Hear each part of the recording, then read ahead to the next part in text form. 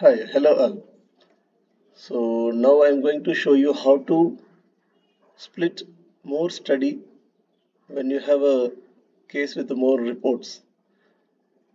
So just to click login by entering your username password.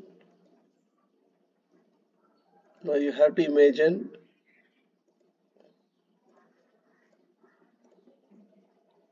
say for example you have a case the first uh, study Mrs. Suruchi Sharma so first you click add clinical history, patient name, gender, age, modality.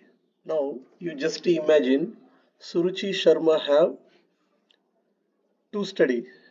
Say for example brain and cervical spine.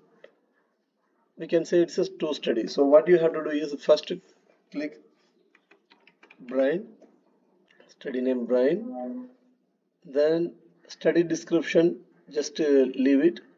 Under next to study description there is a button called add study. Click that add study then select the next study name whether it may be cervical spine or chest uh, chest or whatever it is. I am selecting cervical spine.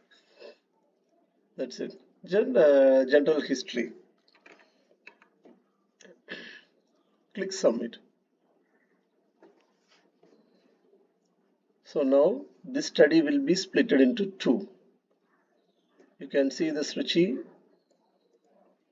here the Suruchi is uh, split into two cervical spine and uh, Suruchi Sharma into brain. So this is how you have to split the study while you add the clinical history and uh, study name. Thank you